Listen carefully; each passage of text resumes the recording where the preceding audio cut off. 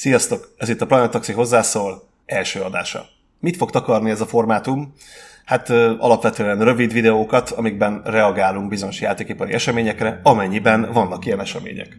Az első dolog, amihez szeretnénk hozzászólni, az a PS5 Pro bejelentése a Sony részéről, és az e körül kialakuló zaj.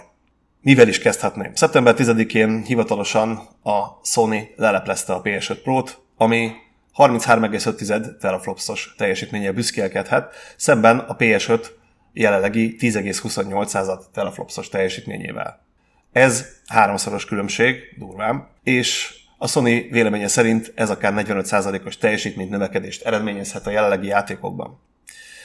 Hát nézzük is rögtön a bemutatót, és aztán fejlesztőként megpróbálok hozzászólni, hogy nekem mi erről az egész dologról a véleményem. A zaj mellett, a zaj ellenére, a Digital Foundry elemzése, mellett én is szeretnék bizonyos dolgokra rávilágítani.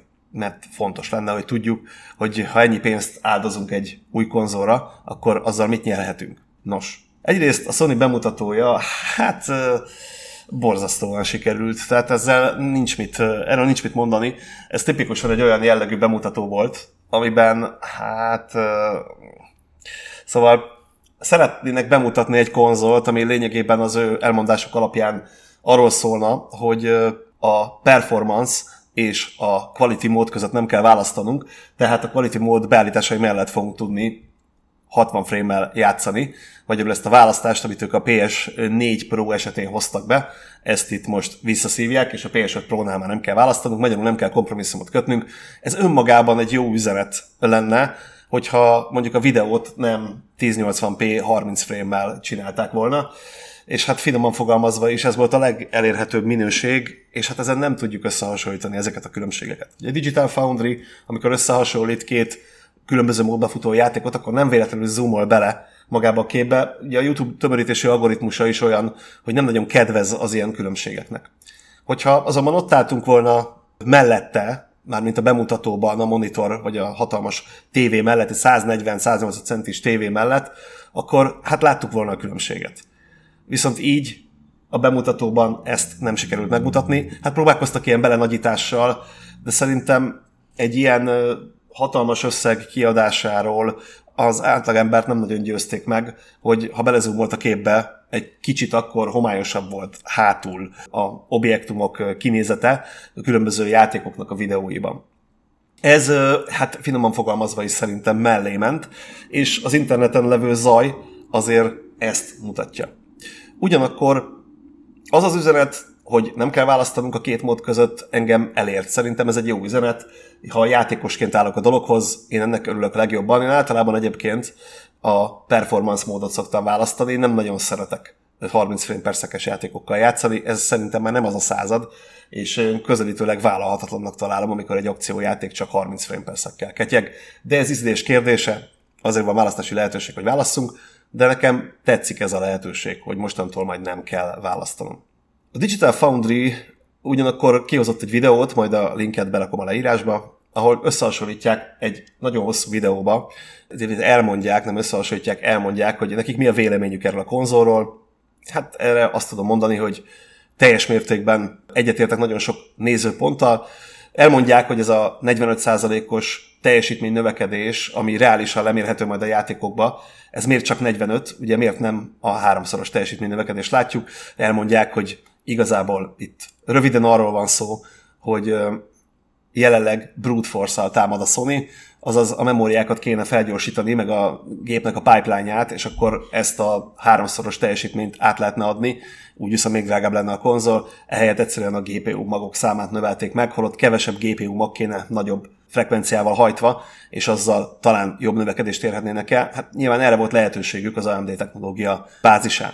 Ugyanakkor ez a 45%-os teljesítmény növekedés, ez, hogy elége vagy nem, hát ez egy jó kérdés. Ugye amikor azt mondjuk, hogy mondjuk egy játékot önmagában mondjuk 1080p és mondjuk 4K futtatás között próbáljuk meg valahol elhelyezni, akkor ha 1080p-t nézzük, ennél pont négyszer több pixel a 4K, tehát négy darab 1080p-s képet kéne generálnunk, tehát az a gondolat, hogy egy olyan játék, ami mondjuk 1080p-be tud 60 frame-et a régi gépen, az mondjuk natív 4K-ba fog tudni 60 frame-et, hát eléggé elhibázott, tehát ez nem 45%-os, hanem durván négyszeres teljesítmény növekedés kéne.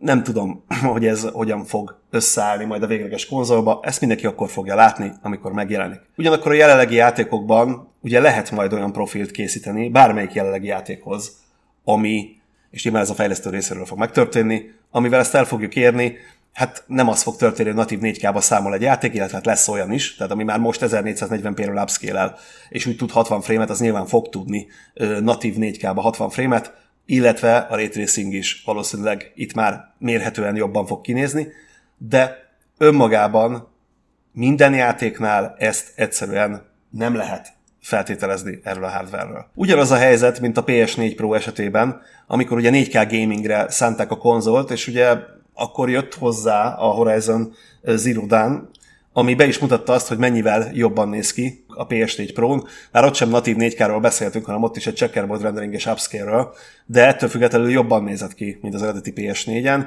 és hát ugye a bemutatót meg tudták ezzel fejelni, most ilyen játékot se kaptunk, tehát ez a bemutató ez elég kellemetlen, bár azt mondják, hogy sokan a következő bejelentésben tartogatja a Sony ezt a nagy ágyút, amivel meg fogja mutatni, hogy valójában mit tud majd az új konzol illetve talán még érdemes visszakanyarodni arra is, hogy miért nem mutatta meg a Sony azt, hogy igazából mennyivel néz ki jobban a kép.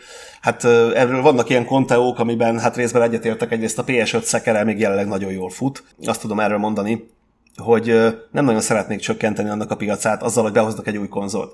Önmagában elég érthetetlen dolog az, hogy behoznak egy új konzolt, különösen ilyen magas áron. Illetve hát lehet, hogy a magas árat meg pont az indokolja, hogy nem szeretnék csökkenteni a PS5-nek a jelenlegi piacát, mert nagyon jól megy a szekér a PS5 körül, és hát nem mondhatták azt, hogy mostantól a PS5 szar, és itt van az új Pro, amivel sokkal-sokkal jobb minden, nem mondhatták azt, hogy valójában, ha nincs Covid, akkor kb. ez a konzol jelenik meg PS5 néven, mert szerintem körülbelül erről van szó ezt egy ilyen félgenerációs váltásnak ítélik, amivel, amiben nem fektettek túlzottan sok energiát. Szerintem, ha azt a kérdést botszolgatjuk, amit a neten mindenki feltesz, hogy az új GTA vajon fog-e rajta futni 60 frame per second, és nagyon sokan megválaszolják, hogy nem. Ezzel a válaszsal én nem értek egyet. Ezt ugyanis nem tudjuk, mert ez a fejlesztőtől függ. Tehát különböző teljesítményekre különböző úgynevezett teljesítményprofilokat készítünk, ami azt jelenti, hogy más profilba fut, mondjuk nyilván nagyon egyszerű ezt belátni, hogyha mondjuk performance-t vagy éppen kvalitit választunk, ez egy-egy külön profilt jelent egy hardware-nél. Valószínűleg a PS5 Pro esetében egy harmadik profilt fognak készíteni a fejlesztők. Ez a valószínűleg némileg több, talán nem jó szót használtam, ez nyilvánvaló. Tehát magyarul itt az fog történni, hogy lesz egy PS 5 Pro profilunk, Pro profil, Pro Pro Pro Pro, Pro. Hát ez elég szar volt, ö, egy nem a Pro konzolon, jó, visszakanyarodok. Szóval a lényeg, hogy lesz egy új profilunk, amiben, hogyha megfelelően skálázzák a grafikát, akkor el lehet majd érni azt a 60 frame per second 4K közeli felbontáson, ugyanis a grafikának van egy elég jól skálázható oldala. Ilyenekre gondolok, hogy lotfázisok, látótávolság, atmoszféra effektek, ray.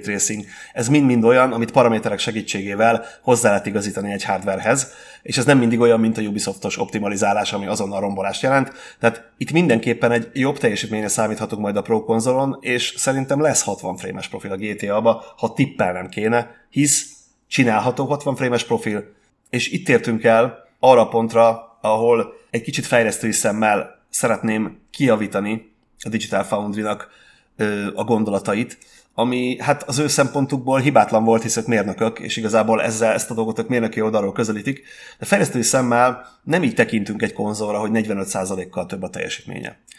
Egy játékfejlesztő mindig, amikor kap egy új hardvert, akkor csinál egy úgynevezett tesztet vele, ami egy ilyen art targetet jelent, létrehoz az új játéka asszettjei segítségével valami környezetet, valami jelenetet, valami pályát úgymond, és csinál egy ilyen mini vertical slice-ot belőle, amiben berak mindent, amit szeretne, és aztán méri a teljesítményt. Tehát ez úgy néz ki, hogy futtatjuk az adott hardveren, bekapcsolunk mindent, amit lehet, és hát nyilván látni fogjuk, hogy képtelen képregényé változott az egész, és utána szépen elkezdjük lefelé skálázni egészen addig a igényünket, amíg a hardware-en el nem érjük a kívánt framerate-et a kívánt felbontás mellett. Az, hogy ezt, hogy mi ez a kívánt framerate, illetve hogy mit kapcsolunk ki vagy be, az igazából csak a fejlesztő múlik. Tehát ezen a hardveren igenis számíthatunk nagy felbontású, tehát 4K körüli 60 frame per szekes gamingre, mert elkészíthetők ilyen profilok.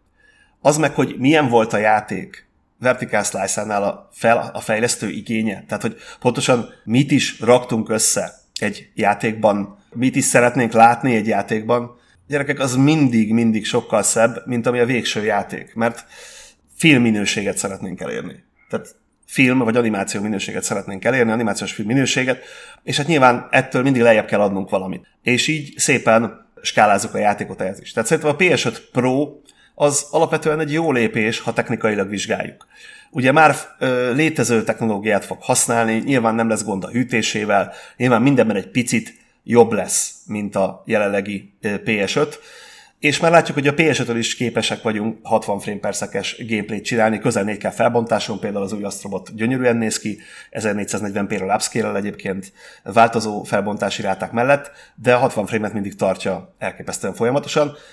Egy PS5 Pro pedig csinálható olyan profil, ahol ez általánossá válik. Ugye a Sony ezt a Spider-Man-nel demozta, ez volt az egyik dolog, amivel demozta, hogy quality mode minőséget fogunk tudni 60 frame per az amúgy is egy nagyon jól optimalizált játék. Csak el is érkeztük addig, hogy mi van akkor, ha a fejlesztő nem csinál ehhez profilt. Hát az olyan játékoknál, ahol ugye a felbontás dinamikusan változik, hogy tartsuk a frame per ott nincsen probléma, és rengeteg ilyen játék van, már majdnem minden játék ilyen, mert ott annyi fog történni, hogy mivel a rendszer méri azt, hogy a teljesítmény nem megy egy bizonyos határon túl, ez automatikusan a játék engine csinálja, így nem fogja leskálázni a zsúfoltabb jelenetekben a target felbontáshoz képes lefelé magát a felbontást. Magyarul az ilyen játékokban azt láthatjuk, hogy tartani fogja a 60 frame per szeket, sokkal kevésbé fog lefelé menni ugyanakkor a felbontás, ami hát a gyakorlatban annyit jelent, hogy sokkal élesebb lesz a kép. Ezt nagyon sok játéknál megfigyelhetjük.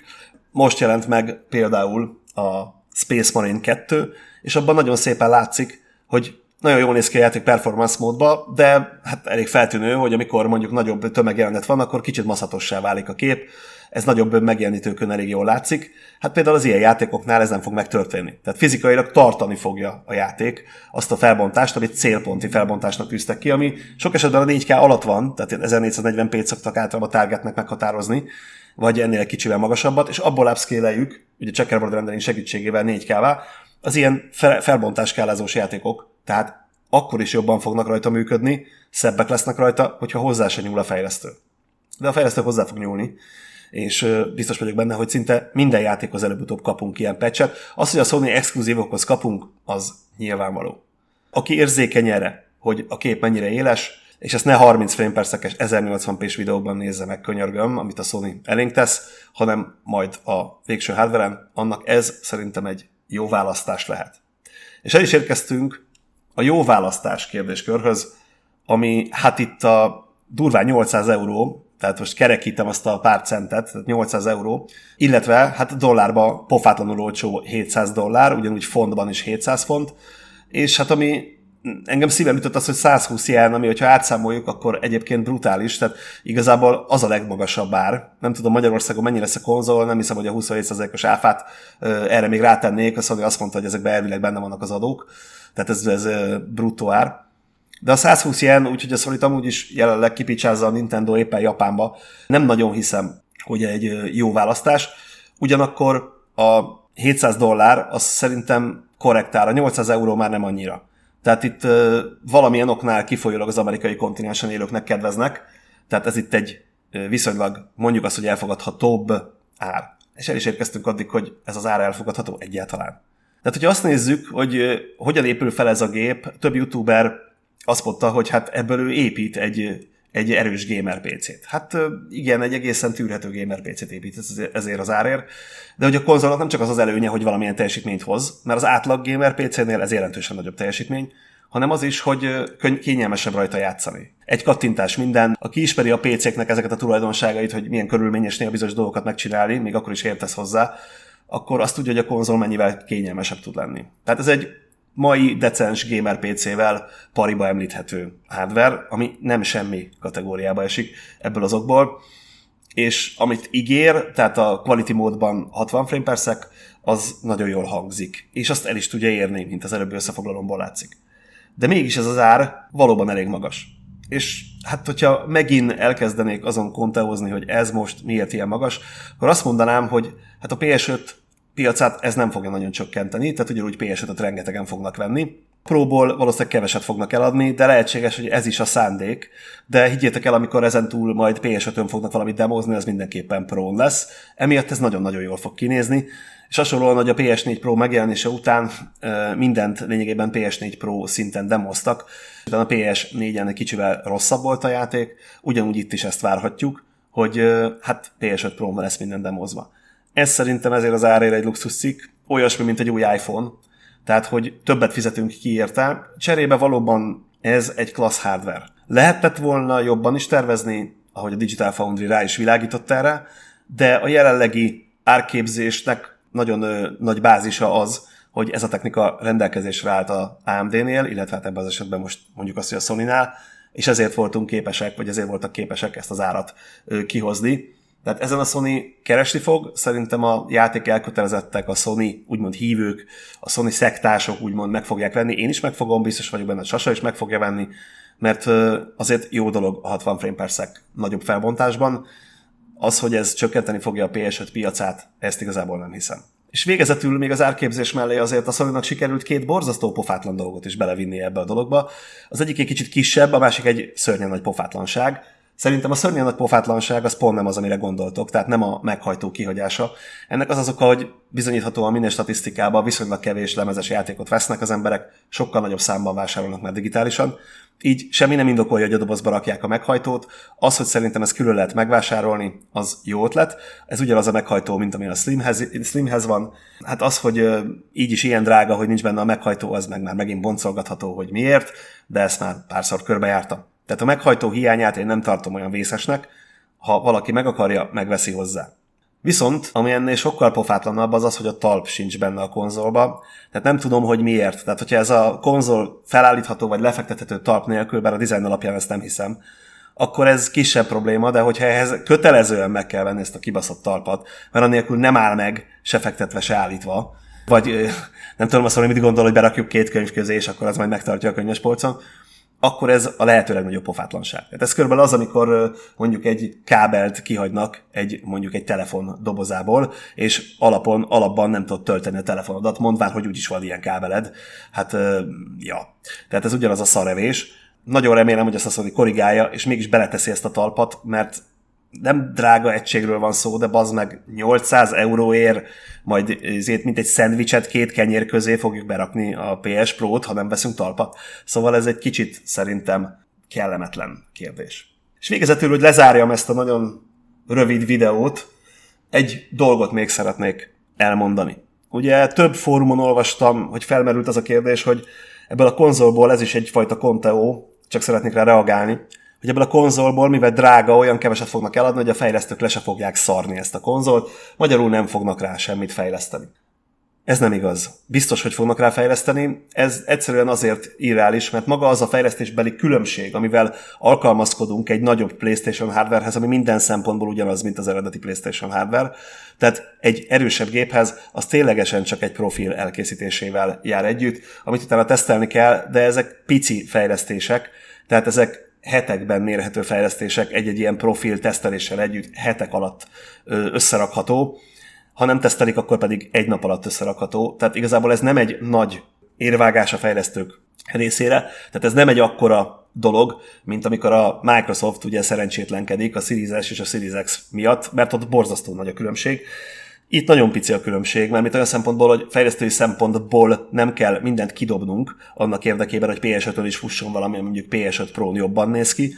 Tudunk akkor a különbséget csinálni, nagyon kis munkával, ami nagyon jól fog mutatni, de ezt nem egy YouTube videóból fogod lemérni. Tehát a lényeg, hogy lesz, igenis lesz, mégpedig jelentős különbség. Ugyanakkor kivegye ezt meg ezekért a különbségekért, az ne, akinek megfelel a 30 frame per gameplay. Az ne, akinek megfelel úgy a 60 frame-es, ahogy most van.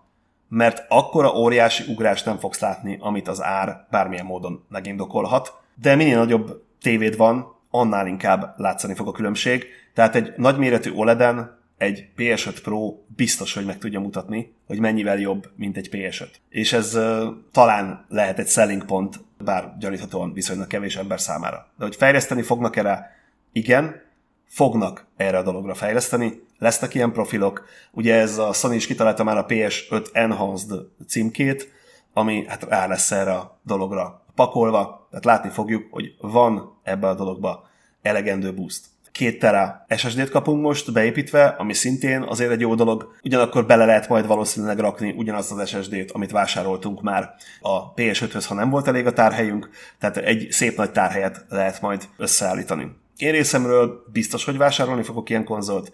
Az árát nem tartom korrektnek, különösen talp és meghajtó nélkül.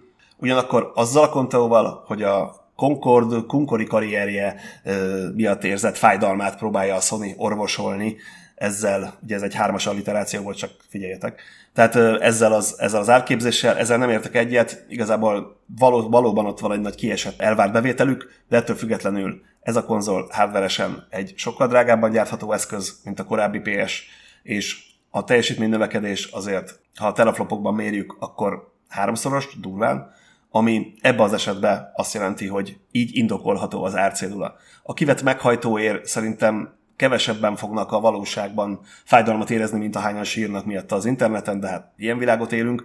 A kivett talp viszont valóban egy kicsit olyan, szóval nem tudom, mint amikor az Apple nem adott a nagy monitorjához talpat, mondván, hogy úgyis állványra fogod csavarozni. Hát remélem nem érünk el addig, hogy veszel egy tévét, és ugyanazt mondják, hogy vegyél hozzá külön talpat, de talán még ez is lesz. Itt az, hogy nincs hozzá talp, hát szerintem az elég gáz. Ennyit a PS5 Pro-ról, ennyit akartam erről a dologról mondani. Szerintem, ha úgy nézzük, és érzékeny vagy a minőségre, és alapvetően szeretnél nagyobb felbontásban több frémet, akkor megéri az árát, Hogyha viszont nem tetszik neked ez a megoldás, és ezt az oldalt is meg lehet érteni, hogy hiányoznak belőle alkatrészek, és mennyibe fog kerülni, ha megveszed hozzá a talpat meg a meghajtót, tehát hogyha árérzékenyen gondolkozol a dologról, akkor viszont nyilvánvalóan nem fogja megérni az árát. Nekem megéri, Sasa is szívja a fogát, mert ugye Európában a legdrágább, de ő is fog venni, ezek szerint neki is megéri. Mondhatni, hogy hamarosan érkezik, mert ugye november elején már hozzá fogunk tudni férni. Előrendelni szerintem nem érdemes, mert biztos, hogy lesznek készletek, Ilyen összegér, ez itt is luxus cikk, megjelenik tehát novemberben. A Luxi PS5 vegye, akinek erre igénye van. Ennyi lett volna a Planet Taxi hozzászól első adása. Remélem, hogy tetszett ez a formátum. Ha igen, mindenképpen írjatok róla kommentet. Nektek mi a véleményetek a PS5 Pro-ról? Drága, nem drága, megéri, nem éri meg? Ki mit gondol erről? Ki fog venni, ki nem fog venni? És hogyha elégedettek vagytok, akkor kövessetek be minket, ha még nem tettétek meg. Lájkoljátok a videót, amennyiben tetszett, osszátok meg minden létező fórumon, ahol lehet, és szokás szerint kövessetek minket lángossal vagy lángos nélkül, Salgó Tarjáni piacon, vagy interneten, vagy itt ennél a YouTube csatornánál. Jelentkezzetek az iskolába, amennyiben szeretnétek videójátékfejlesztői képzést kapni, és hamarosan jelentkezünk a következő Other Side-dal. Sziasztok!